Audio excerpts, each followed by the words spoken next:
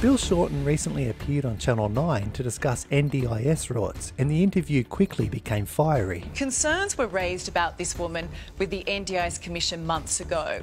She hasn't been banned. Now, clearly, she should lose her job, and some might say the same about you. Oh, I don't know where you get to that uh, conclusion, the second part, Ally, but I guess it's your job to say that. She's not banned, she's not even suspended, Minister. Yeah, you, no, you said that before and I got that. We Was- can't then even stop the crooks in their tracks. Uh, I mean, this That's is the right, fundamental Ally. problem Ally, merely it. because an investigation hasn't sort of convicted these people tonight on your show. What we're hearing from people writing in, it's not fast enough. Uh, we get emails about the NDIS every single That's day. That's a fair point. And the people are coming to us as a last resort because they Yeah, don't feel the system listens to them. And do you know what? You actually make a fair point, and I did say earlier, I'm grateful for you exposing this stuff.